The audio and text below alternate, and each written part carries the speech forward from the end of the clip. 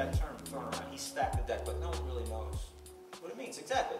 Um, you and I are having a moment right now. You're shaking your head and we're connecting. Right? Exactly, right? You're like, what does that really mean? Well, guess what? It's your lucky day because I'm going to show you exactly what it means to stack the deck. Uh, in a moment, I'm going to give the cards a couple shuffles, and rather than mixing the cards when you shuffle, that's what you're supposed to do, I'm going to rearrange the cards so that when I deal, I receive a winning hand. Let's use the queens.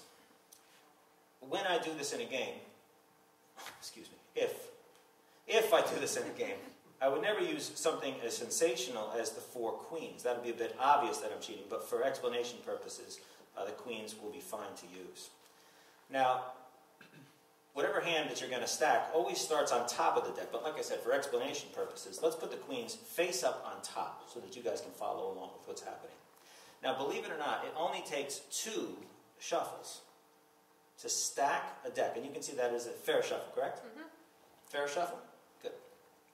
Two shuffles to stack for a four-handed game. You know, I can still see you leaning forward to try to get a better look. I mean, what do you need? We've got 110 inches in the back here.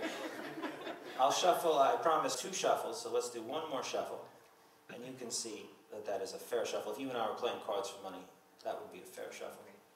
And of course, after the cards are shuffled, they always have to be cut. I said two shuffles and a cut, and watch this queen started on top, but look where they end up. In a four-handed game. That's one, that's two, that's three, and look who gets a queen. I get a queen. Oh wait, there's more. Watch this. One queen isn't going to knock off any pots, but check it out. A pair of queens may. Now they say that, you're shaking your head no already, I've got two more to go. Watch this. they say that uh, your chances of winning poker are 90% when you have three of a kind. But why risk things with 90%? I like to have all my bases covered and go for all four queens.